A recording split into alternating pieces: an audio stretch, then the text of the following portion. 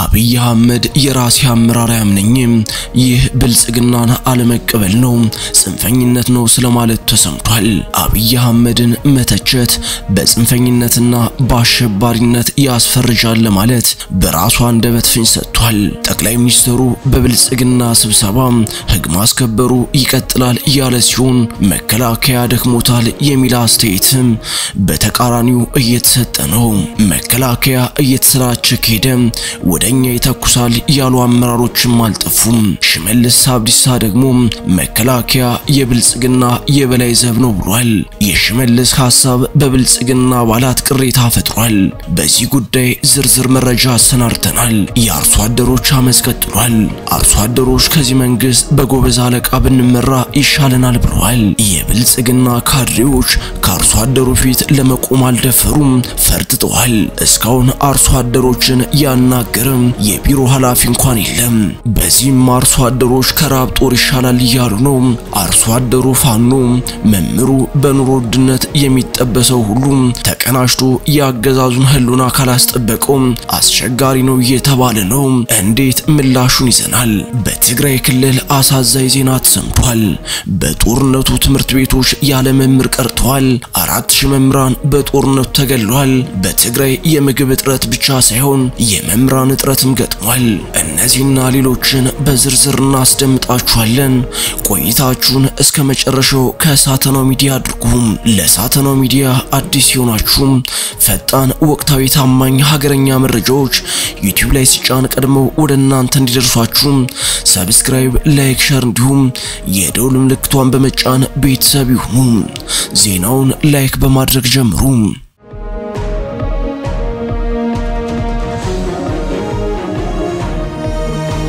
ይስጥልን። ይህ የሳተናው ድምፅ ነው። አዳዲስ ወቅታዊና አስደማሚ መረጃዎችን ይዘን ሰዓታችን ጠብቀን ተገናኝተናል። ሳተናው አዳዲስ መረጃዎችን እንዲህ ማስደመጥ ይጀምራል። ለሶስት ቀናት በቀጠለው የብልጽግና ስብሰባ የአማራ ክልል ሕግ ማስከበር ጉዳይ ተጠናክሮ እንዲቀጥል ሀሳብ ተሰነዘረ።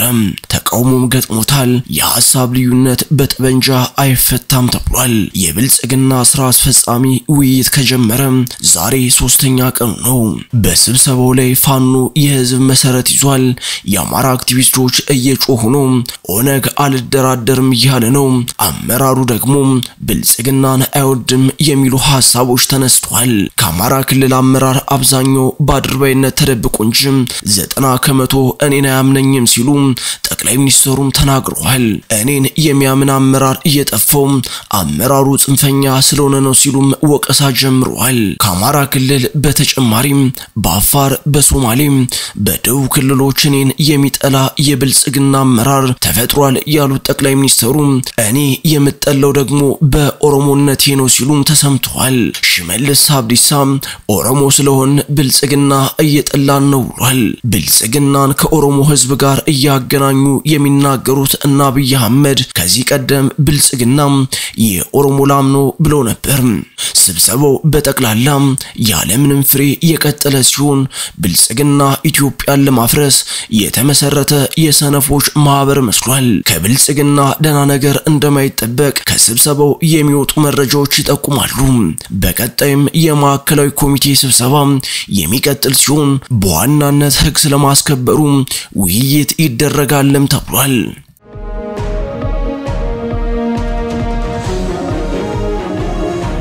በትግራይ ክልል የተሰማው አስደንጋጭ ዜና ብዙዎችን አስለቅሷል። በትግራይ ትምህርት መጀመሩን ተከትሎ የመምህራን እጥረት ገጥሟል።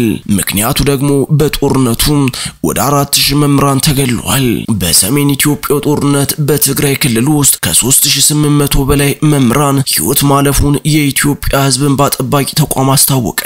ተማሪዎች የሚወዷቸውን መምህራን በማጣታቸው ሀዘን ውስጥ ናቸው። ተቋሙ ጦርነቱ በክልሉ ስለደረሰው ጉዳት ባካሄደው የዳሰሳ ጥናት በትምህርት ስርዓቱም ላይ ከፍተኛ ውድመት መድረሱንም አመላክቷል። የጉዳቱ መጠን በቅርቡ በተጀመረው የመማር ማስተማር ሂደት ላይ ከፍተኛ እክል እንደፈጠረ በተቋሙ የተገለጸ ሲሆን የክልሉ የትምህርት ቢሮ በበኩሉ የሚመለከታቸው የፌዴራል አካላትና ዓለም አቀፍ ድርጅቶች የሚጠበቅባቸውን ድጋፍ አለማድረጋቸውን በመጥቀስ ወቀሳ አሰምቷል። ተማሪዎችንና መምህራን በጦርነቱ በማሳተፉ ለሞት ተዳርገዋል። ከሞቱት ባለፈ ከፍተኛ የአካል ጉዳት የደረሰባቸው መምህራን በመኖራቸው ትምህርት ቤቶች ያለ አስተማሪ ቀርተዋል። በትግራይ ክልል ብቻ በጦርነቱ የሞቱ ሰዎች ቁጥር ከ700 ሺህ በላይ እንደሚሆን አንድ የኖርዌይ ሀገር የጥናት ቡድን ይፋ አድርጓል። በጠቅላላ በሰሜኑ ጦርነት ወደ አንድ ሚሊዮን ሕዝብ ያለቀ ሲሆን ይህም በኢትዮጵያ ታሪክ አስከፊው ጦርነት ተመዝግቧል። እስካሁን ኢትዮጵያ ከውጭ ሀገራት ወራሪዎች ጋር ያደረገቻቸው ጦርነቶች ተደምሮ የሰሜኑን ጦርነት ያህል ሕዝብ አላለቀባቸውም። ለምሳሌ በአድዋ ጦርነት የተገደለው ሕዝብ አምስት ሺህ አይሞላም። በኤርትራ ጦርነት ሰባ ሺህ ሲሆን በካራ አማራ ጦርነት የተገደለው ሕዝብ ከ60 ሺህ አይበልጥም። በሰሜኑ ጦርነት ግን አንድ ሚሊዮን ሕዝብ አልቋል። ይሄ ሆኖም አሁንም ብልጽግና መሩ መንግስት ሌላ ጦርነት በአማራ ክልል ላይ ከፍቷል።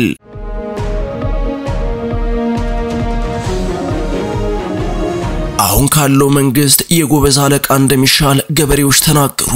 ገበሬዎች ማዳበሪያ ስንጠብቅ መከላከያ ልኮብናል ብለዋል። ብልጽግና ለገበሬዎች ማዳበሪያውን አስቀርቶ ዲሽቃና ሞርታር የታጠቀ ወታደር ልኳል። የገበሬዎች አመፅ ቀጥሏል። በአማራ ክልል መቅረብ ከሚገባው ማዳበሪያ ወደ አርሶ አደሩ የደረሰው 35 ከመቶ ብቻ ነው። 9 ሚሊዮን የአፈር ማዳበሪያ ቢያስፈልግም ለአርሶ አደሩ የደረሰው ግን ገና አንድ ነጥብ አምስት ሚሊዮን ብቻ ነው።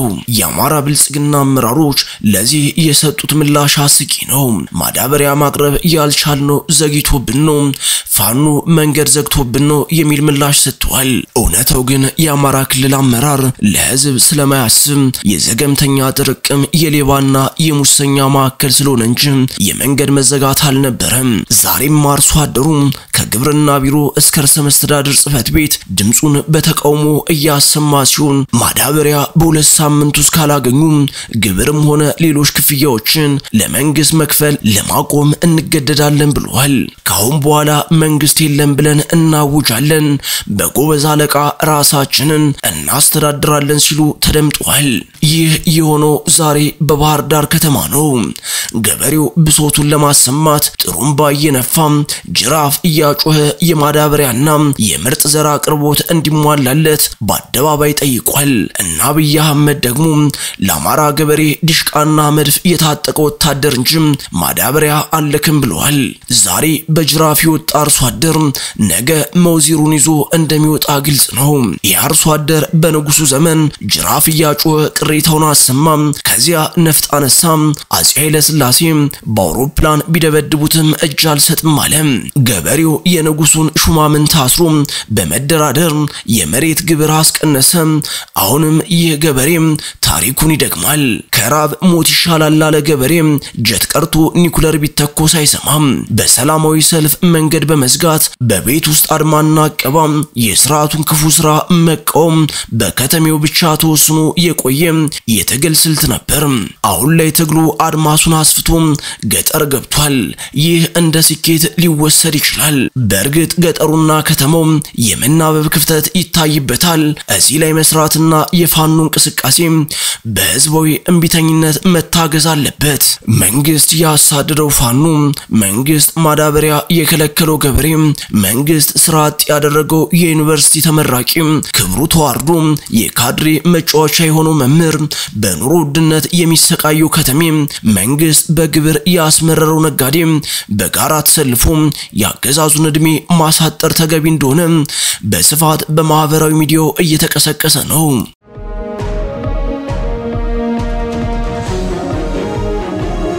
በሐዋሳ አንዲትን ሴት የጠለፈው የባለስልጣን ጠባቂ ለቤተሰቦቿ ሽማግሌ ላከ። ነገሩ አስገራሚ ነው። ጠላፊው ሽማግሌ ላከው ፖሊሶቹን ሲሆን እወዳታለሁ ላግባት የሚል መልእክትም አስተላልፏል። ጸጋ በላቸው የተባለችዋን የባንክ ሰራተኛ ጠልፎ የተሰወረው የሐዋሳ ከንቲባ ጠባቂ እወዳታለሁ ተረዱኝ ሲል ለቤተሰብ መልእክት ልኳል። የሚገርመው በጠለፈው የነበሩ ፖሊሶች ሽማግሌ ሆኖ ወደ ቤተሰብ አምርተዋል።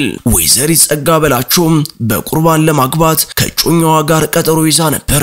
እጮኛዋንም አስቀድሞ ፖሊስ ያሰረው ሲሆን ጸጋን ደግሞ የጸጥታ ኃይሎች ጠልፈዋታል። ነገሩ አስገራሚ የሆነ ሲሆን እስካሁን አስር የሚደርሱ ፖሊሶች ታስረዋል። የጠላፊው ተባባሪ የሆኑ ፖሊሶች ቢታሰሩም ጠላፊው ግን ከመወዳት ልጅ ጋር እሞታለሁ ብሎ ይዟት ተሰውሯል።